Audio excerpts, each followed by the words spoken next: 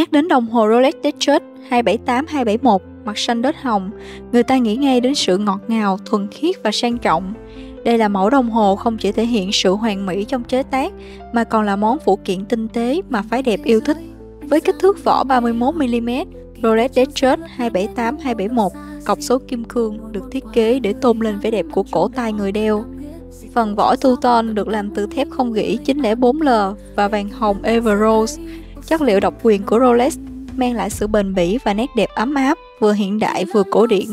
Dây đeo Jollibee năm mối nói được chảy xước và đánh bóng tinh xảo, mang lại cảm giác mềm mại nhưng vẫn cực kỳ sang trọng khi lên tay. Điểm nhấn ấn tượng của chiếc đồng hồ này chính là mặt số màu hồng chảy tia lấp lánh, ánh sáng phản chiếu tạo nên hiệu ứng rực rỡ dưới ánh nắng.